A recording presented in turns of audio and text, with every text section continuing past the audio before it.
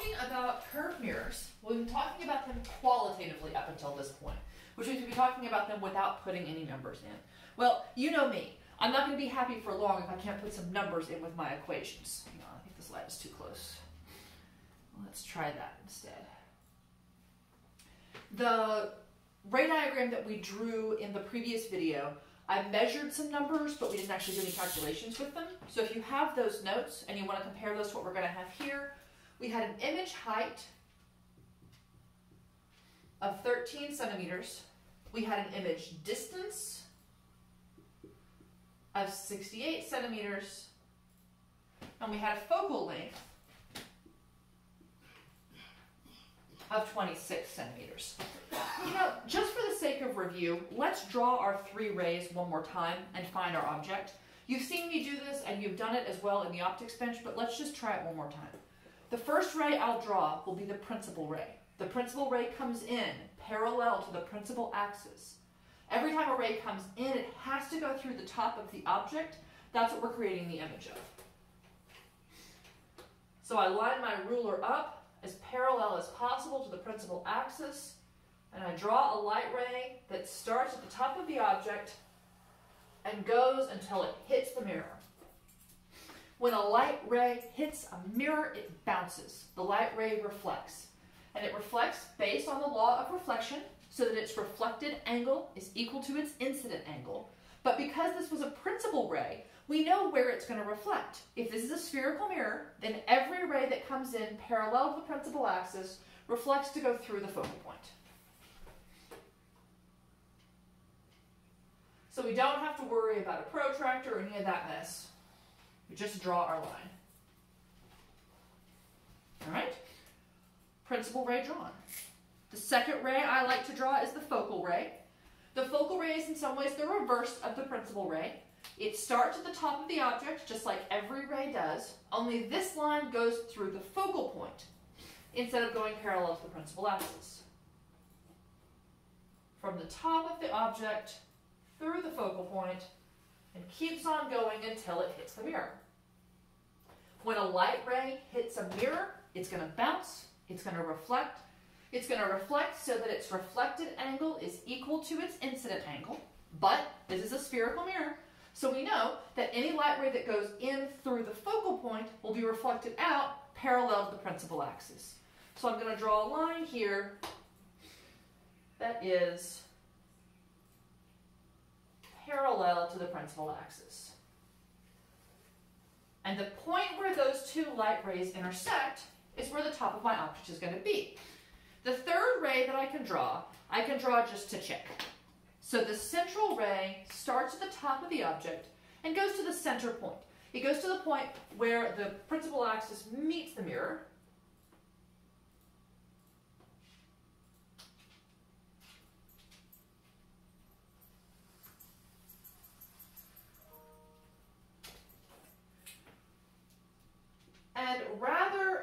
trying to make that angle the same, we're just going to draw the reflected light ray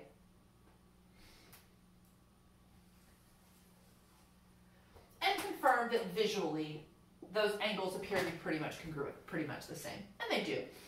So we have our three light rays coming together to tell us where the top of our arrow is. The top of our arrow is below the principal axis. So to draw in the whole object, we'll draw a line that goes from here up to the principal axis. So we hopefully have gotten pretty good at the lost art of image description. L was the location. We would describe this location as being between the, or beyond the focal point.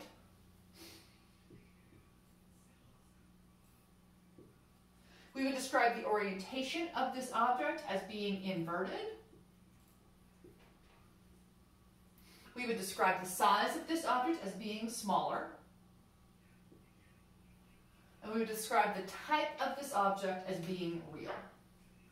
The way you can tell that it's a real image is that actual light rays created this image. This is the image that you saw of my front door on the piece of paper in the front yard at the end of yesterday's videos. All right, but I'd like to, to know what the distance to this image is and and what the height of this image is.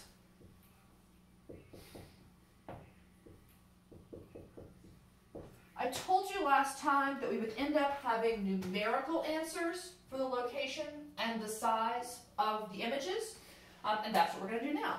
The equation that's going to give us those is called the lens mirror equation. And as the name suggests, we can use it this week for mirrors, and we can also use it next week for lenses, which is pretty convenient. There are two different convenient ways to draw the lens, to write the lens mirror equation. The first is the simplest, and I think of as kind of the definition. 1 over the focal length of a mirror or a thin lens is equal to 1 over the object distance plus 1 over the image distance. If you know any two of the three, you can find the third one. Here's a nice thing about the lens mirror equation. As long as all three units for focal length, object distance, and image distance are the same, we can put any units into this uh, equation. So we can leave everything in centimeters. We do not have to change things into meters for this equation. Most of the time when we use this equation, we're looking for the image distance. So I'm going to go ahead and just tell you, you can do the algebra, you can figure out what it was required to solve for this equation, but when we do the algebra, the image distance will equal the object distance times the focal length divided by the object distance minus the focal length. DOF over DO minus F. And sometimes it's just handy just to have that written down as opposed to recalculating it. Um, you can solve it with the equation with all the inverses, um, but I'm just going to do the algebra for you there. Okay, so it's a pretty simple matter then to plug this object distance and this focal length into that equation and calculate what our image distance should be. So, hang on, I left my calculator behind.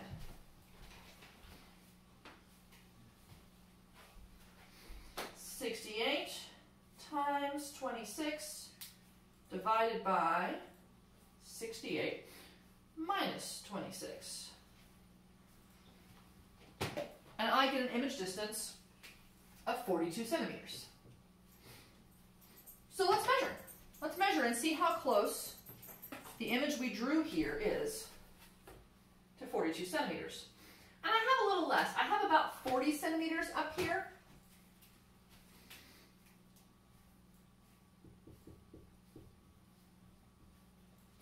And that's always going to be the case, especially if you're trying to draw ray diagrams on something as big as a whiteboard. Drawing a perfectly parallel line is pretty near impossible. So getting an image that, that, that, that is that close makes me perfectly happy. Now, what about the height of the image? The height of the image isn't in our lens mirror equation. So we need another equation.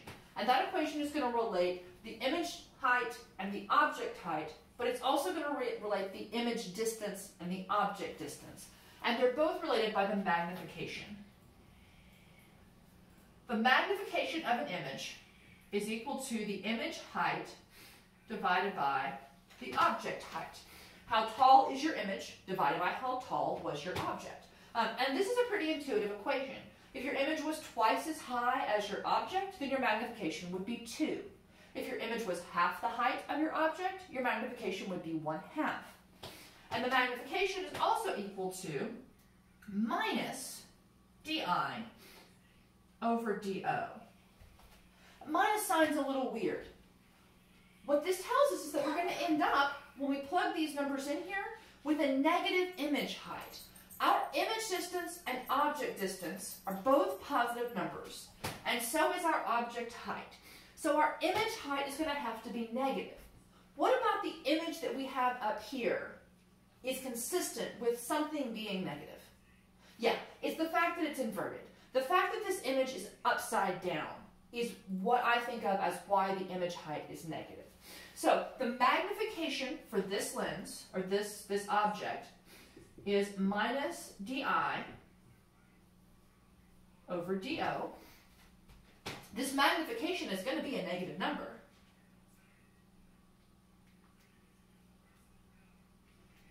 And I'm using the calculated image height here. I only measure the image height just to, to confirm that my, my picture is about right. I'm always going to use my calculated numbers. The magnification that I get is negative 0.62.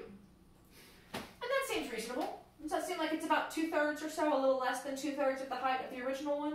And this negative magnification indicates that my image is inverted, that it's upside down. And now we can find the height of the image. It's going to be the magnification times the object height. My object height was 13. 13 times negative 0.62 is negative 8.0 centimeters. And if I measure the height of this image, I get about seven and a half centimeters. Seven and a half centimeters seems about right to me. Okay, so these are the equations that we're going to use, but we've also sort of seen a little bit that signs are going to matter. Let me erase this ray diagram and let's talk briefly about these signs. And then let's calculate one more, we'll do one more practice problem.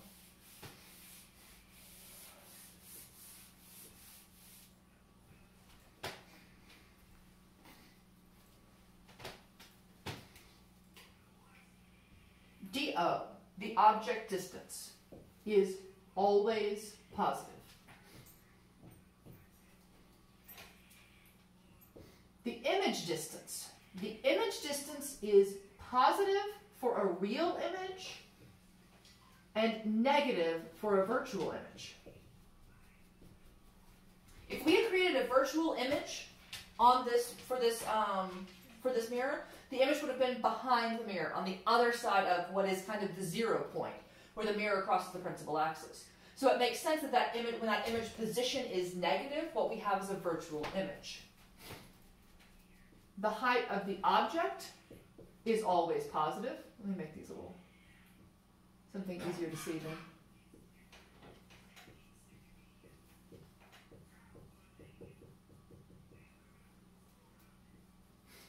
The height of the image is positive when it's upright and negative when it's inverted. And there's one more thing we have to give a sign convention for. If I switched the curvature of that mirror, but left the focal length the same, let me say that again.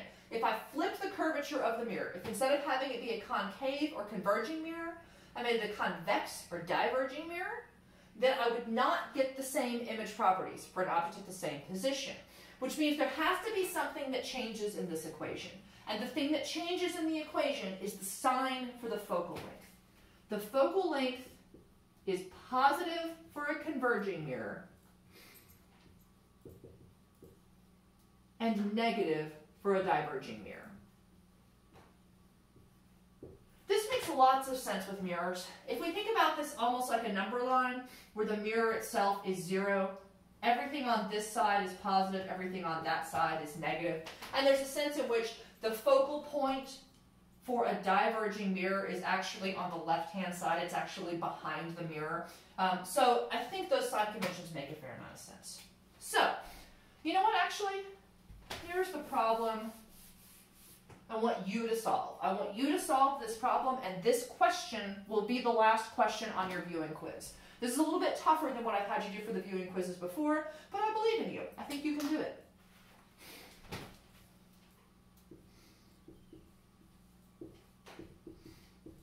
An object sits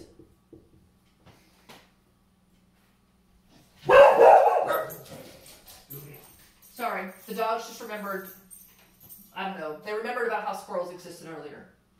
An object sits 40 centimeters in front of a mirror.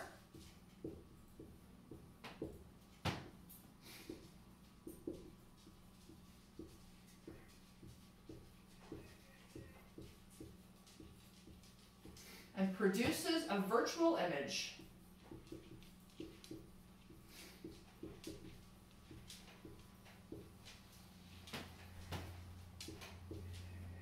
Point, 13.3 centimeters behind the mirror. I want you to find two things for me. I want you to find the magnification of that image, and I want you to find the focal length of that mirror. Find the magnification of the image, and find the focal length of the mirror. Um, those are your two questions for the quiz. Um, and for your secret question, what else do you think the dogs could have been barking at if it wasn't an imaginary squirrel? You can use your imagination on this one. All right, um, this should be enough to get you going with some more questions on the UT Quest, um, and I will see you tomorrow to talk about refraction.